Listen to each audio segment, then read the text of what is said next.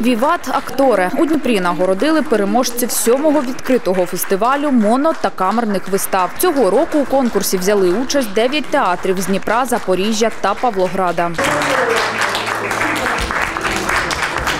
Асі 9, а вона вже переможниця фестивалю. На театральних підмостках тільки рік. Проте перед виступом не хвилюється. Ну, нет, потому что я занимаюсь э, танцами в Орленке, и поэтому я уже привыкла, э, как можно сказать, э, одно целое со сценой. Театри змагалися у чотирьох категоріях: моновистави, камерні вистави, студентські роботи та читацькі програми. За чотири дні журі переглянуло 15 робіт. Я хочу, по-перше, е, всім вам подякувати. Подякувати за що?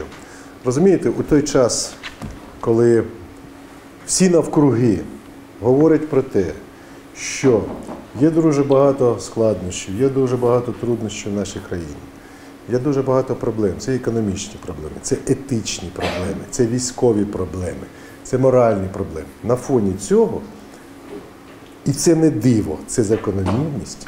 Ви робите свою, ну скажімо, таку найважливішу справу. Фестиваль пройшов у рамках програми мера міста Бориса Філатова Дніпро Культурна столиця. За роки існування на фестивалі було показано понад 60 акторських робіт. Практично усі вони увійшли в репертуари театрів, учасників конкурсу. Дар'я Мізікіна, Сергій Язовських про Дніпро сьогодні.